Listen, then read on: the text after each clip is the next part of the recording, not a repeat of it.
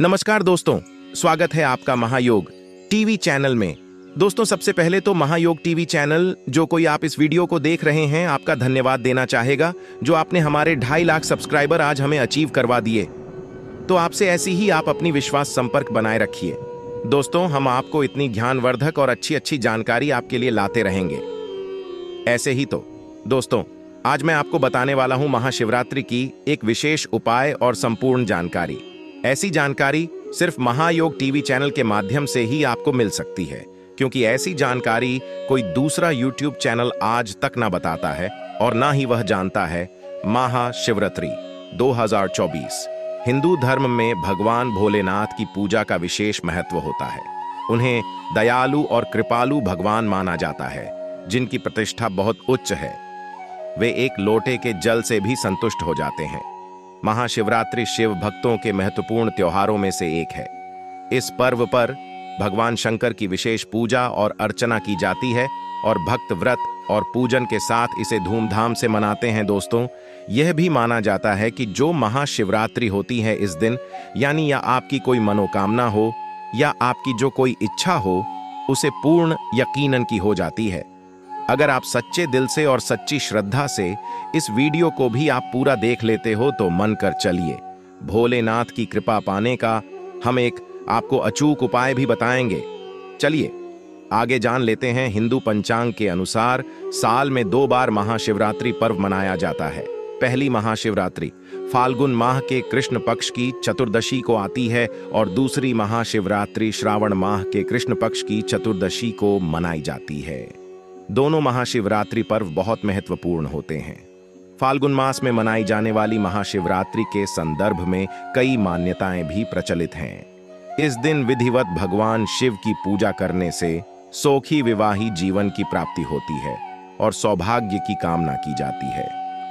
जानिए 2024 में महाशिवरात्रि कब मनाई जाएगी और महाशिवरात्रि 2024 की तिथि दोस्तों, जो महाशिवरात्रि का पर्व होता है दोस्तों ये पर्व भगवान भोलेनाथ की भक्तों के लिए सबसे बड़ा पर्व माना जाता है, दोस्तों। और आपको बता दें कि साल 2024 में महाशिवरात्रि 8 मार्च, शुक्रवार को मनाई जाएगी। ये महाशिवरात्रि फाल्गुन मास के कृष्ण पक्ष की चतुर्दशी तिथि को मनाई जाती है। साथ ही ऐसा माना जाता है कि इस दिन भगवान शिव की पूजा करने से जीवन के सभी कष्ट मिट जाते हैं। इस दिन भगवान शिव के साथ ही माता पार्वती की भी पूजा की जाती है। आइए, हम जानते हैं। महाशिवरात्रि की पूजा की तिथि और महत्व के बारे में महाशिवरात्रि 2024 की तारीख और पूजा समय। Mahashivratri 2024 date and puja time Mahashivratri के अवसर पर दिन के चार प्रहरों में पूजा की जाती है। निम्नलिखित है, महाशिवरात्रि 2024 की तारीख और पूजा का समय। दोस्तों, आगे जानकारी बताने से पहले महायोग भी चैनल की इस वीडियो को ज़्यादा से ज़्यादा शेयर करें, लाइक करें, जिससे हर एक भारतीय नागरिक तक यह वीडियो पहुँचे और उन्हें भी इसके बारे में संपूर्ण ज्ञान की ही प्राप्ति हो दोस्तों। आपसे हाथ जोड़कर निवेदन है कि इस वीडियो को ज़्यादा से ज़्यादा शेयर करें। चलिए जान लेते हैं फाल्गुन मास 2024 चतुर्दशी तिथि की शुरुआत 8 मार्च 2024 रात्रि नौ सौ सयावन बजे। दोस्तों, अपने कमेंट में जय भोलेनाथ ना लिखा हो तो ज़रूर लिख दें। और अपनी राशि को कमेंट बॉक्स में ज़रूर डाल दे। दोस्तों, अब हमने आपको टाइम बता दिया है। अब हम आपको यह भी बता देते हैं कि आप अपनी राशि को हमारे कमेंट बॉक्स में ज़रूर डाल दें, क्योंकि हम राशि से जुड़े आपका भाग्य भी बताते हैं और आपकी भाग्य में चल रही परेशानियों को दूर करने के लिए बहुत सारे उपाय भी बता चुके हैं। और अभी भी हम आपकी, जो आपकी राशि है, उसके अनुसार आपको कुछ ऐसा उपाय भी बता सकते हैं। दोस्तों, अब जान लेते हैं कि ऐसा कौन सा उपाय करना चाहिए।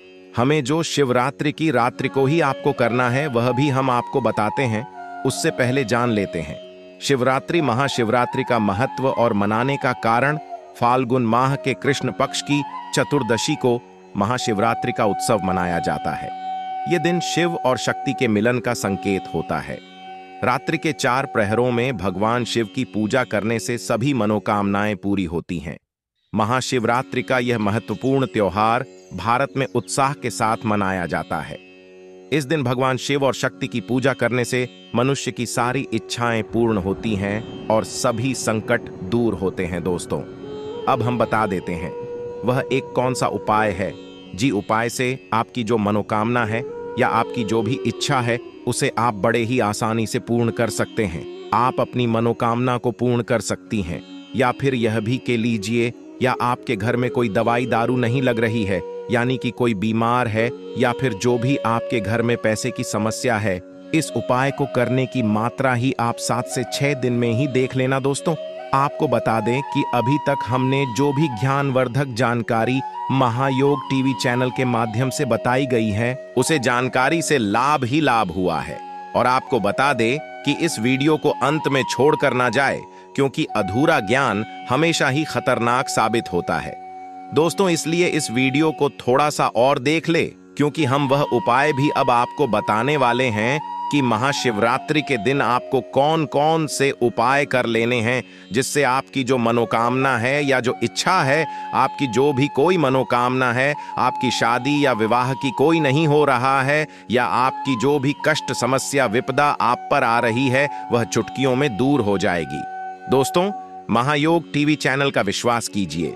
क्योंकि यह ब्रह्मांड पूरा का पूरा विश्वास से ही टिका हुआ है। तो चलिए, हम वह उपाय बताते हैं। आपको क्या करना है? सबसे पहले आपको बेलपत्र को, आपके घर के आसपास कहीं भी जहाँ बेलपत्र का एक पेड़ खड़ा हो, वहाँ पर चले जाना है और बेलपत्र वहाँ से आपको जय श्री कृष्ण बोलते हुए आपको बेलपत्र को तोड़ लेना है। और बेलपत्र ऐसा होना दोस्तों चाहिए कि वह कांटा फैदा ना हो। बेलपत्र बिल्कुल साफ़ और अच्छा होना चाहिए। बेलपत्र को तोड़ने के बाद आपको आगे क्या करना है, उसे साफ़ पानी या फिर आप गंगा जल से साफ़ करने दोस्तों। बेलपत्र पर किसी भी प्रकार की गंदगी नहीं होनी चाहिए। और दोस्तों, इसके बाद आपको क्या करना है, आपके जो सबसे पास में महादेव का मंदिर हो, भगवान शिव का मंदिर हो, जहाँ पर माँ पार्वती की पूजा भी की जाती हो, यानी कि माँ गौरी की पूजा वहाँ पर की जाती हो। दोस्तों, आपको ऐसा मंदिर हम आपके आसपास ही कहीं ना कहीं ज़रूर होगा। दोस्तों, क्योंकि हर किसी के घर के आसपास भगवान शिव का, भगवान भोलेनाथ का मंदिर अवश्य ही मिल जाता है। वहाँ पर आपको चले जाना है, और जो आपने बिल पत्र लिया था, उसे बेल पत्र से आपको क्या करना है? उससे पहले आपसे एक अनुरोध करना चाहूँगा कि आप इस वीडियो में जय भोलेनाथ अवश्य लिखें। दोस्तों, उसके बाद आपको क्या करना है? जो बेलपत्र लिया था, आपने बेलपत्र के जो तीन पत्ते होते हैं, उन तीन पत्तों को आपको क्या करना है जो भगवान शिव की पिंडी होती है? ये तो आपने देखी होगी तो दोस्तों, इसके बिल्कुल ऊपर आपके ऊपर रख देना है। और रखने के बाद आपको दो से तीन मिनट तक आपको एक मंत्र का जाप करना है। मंत्र आपको बता देते हैं। हम दोस्तों, मंत्र बताने से पहले आप जय भोलेनाथ अवश्य लिखें। दोस्तों, मंत्र आपको ऐसे बोलना है कि हे भोलेनाथ हे भोलेनाथ। आपको यह दो बार बोल लेना है, हे भोलेनाथ हे भोलेनाथ। ये बोलने के बाद आपको क्या करना है कि अपनी जो भी आपकी मनोकामना है, उसे भगवान भोलेनाथ के सामने ही आपको बोलना है कि है भोलेनाथ, मेरी यह मनोकामना को आप पूर्ण कीजिए और आप इसको भगवान शिव को बोलते हुए आपको आगे क्या करना है? दोस्तों, वहाँ से घर चले आना है और घर आने के बाद जो भी आपके घर की मंदिर में भी भोलेनाथ की तस्वीर या फिर मूर्ति अवश्य होगी, जो आपने वहाँ पर मनोकामना मांगी थी, यानी कि भगवान शिव का जहाँ कहीं मंदिर था, वहाँ पर आपने जो आपकी मनोकामना बोली थी, अब आपको वही। मनोकामना बिल्कुल उसी तरह से अपने घर के मंदिर में बोलना है, दोस्तों। ये करते वक्त यह अवश्य ध्यान रखें कि आप यह जो आपको मैं उपाय बता रहा हूँ, वह शाम की छह दियों तक अवश्य ही करनी, क्योंकि तभी इससे लाभ ही लाभ हो सकता है। दोस्तों, यह उपाय हम भी अवश्य करते हैं, और हमारी हर एक मनोकामना इसे पूर्ण होती है।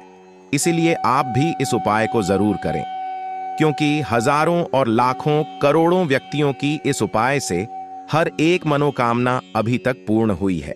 और दोस्तों इस वीडियो को ज़्यादा से ज़्यादा शेयर करें, जिससे कि हर एक भारतीय नागरिक तक यह वीडियो पहुँचे और हम चाहते हैं कि भारत की प्रत्येक नागरिक तक ये वीडियो पहुँचे और उनसे उन्हें हर एक चीज़ की प्राप्ति हो, ज्ञान की प्राप्ति हो। दोस्तों, क्योंकि हमारा मकसद है फ्री जानकारी एवं जन कल्याण में सहायता करना, मदद करना। दोस्तों, इस वीडियो को अगर आपको अच्छी लगी है तो इस वीडियो को लाइक ज़रूर करें और ज़्यादा से ज़्यादा मित्रों तक आप इस वीडियो को ज़रूर शेयर करें।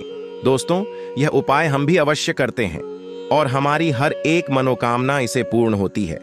इसीलिए आप भी इस उपाय को ज़रूर करें, क्योंकि हज़ारों और लाखों करोड़ों व्यक्तियों की इस उपाय से हर एक मनोकामना अभी तक पूर्ण हुई है।